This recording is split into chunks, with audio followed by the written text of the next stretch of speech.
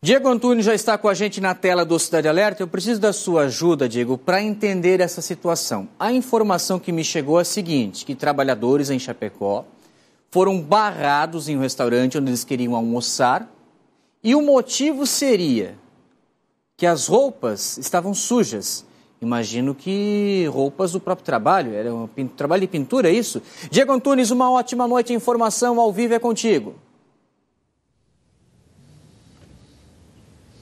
Exato, Zanotto. Uma ótima noite a você e a todos que nos acompanham, todo o estado de Santa Catarina. Esse fato, esse vídeo começou a circular logo após o meio-dia é, pelas redes sociais, principalmente em grupos de WhatsApp, mostrando é, esse diálogo e também uma discussão entre os trabalhadores e o que estava filmando, principalmente com o atendente, o que seria o gerente desta churrascaria no centro aqui de Chapecó. Eles chegaram para almoçar e foram impedidos de entrar e sentar no estabelecimento é, porque estavam com as roupas sujas de tinta. Segundo um desses é, trabalhadores, ele, inclusive, a gente está acompanhando né, o vídeo, é, um deles disse que trabalha há 17 anos na mesma empresa e nunca passou por tamanha humilhação. Mas, segundo informações, isso já teria acontecido num dia anterior com alguns colegas que ali estiveram e também não puderam entrar, ou, ou, ou foram, enfim, é, retirados do local, ou foram xingados, inclusive. E aí eles foram lá para ver, verificar se de fato isso estava, estava acontecendo e aconteceu. E aí ele disse: vou filmar e vou jogar nas redes sociais. Inclusive,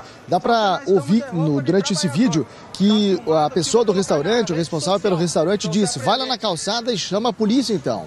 E aí eles acabaram filmando e jogando nas redes sociais. Acabaram indo almoçar num restaurante, numa lanchonete que fica a cerca de 10 metros desse local onde foram impedidos de sentar. Ah, através da redação do ND+, a gente entrou em contato com o restaurante, né, o proprietário, o responsável, ele disse que hoje não iria se manifestar e somente amanhã iria vir a público se manifestar sobre o ocorrido. Então essa é a resposta com relação ao que aconteceu nesse estabelecimento aqui no centro de Chapecó.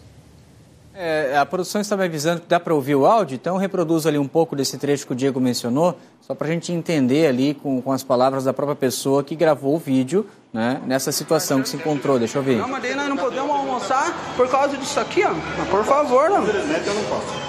Não, mas nós vamos, então vamos chamar a polícia aqui, nós vamos ver o que vai dar. Diz que é uma vergonha. É uma vergonha, eu vou filmar aqui, quero colocar nas redes sociais, uma vergonha. Pessoa trabalhadora, assim, ó. Ó, que diferença tem de nós e do cara aqui almoçando? Que diferença tem? Nós temos dinheiro, cara. Você está te... respeito. Você que está desrespeitando nós. E vão meter uma calúnia no você para você aprender. Tá tudo filmado aqui, ó. Tudo filmado aqui, ó. É uma vergonha. É um lixo isso aqui, ó. É um lixo. Viu, pessoal? Deu para entender. Já deu para entender bem. Ele colocou ali o vídeo, né? É, que ele não pôde almoçar porque estava com a roupa suja em virtude do trabalho que eles estão fazendo, né? Porque não há essa condição, né? Não há como quem trabalha com a pintura está lá de manhã cedo trabalhando, daí vai tirar a roupa suja, vai colocar outra roupa para poder entrar no restaurante. É um absurdo. É um absurdo. E vamos esperar agora, né, Diego, como você mencionou, o pessoal do restaurante qual a explicação que vai nos fornecer após esse episódio, né? Essa exclusão dos trabalhadores que queriam almoçar e foram impedidos pela questão das vestes, das roupas sujas de trabalho. Diego Antunes, mais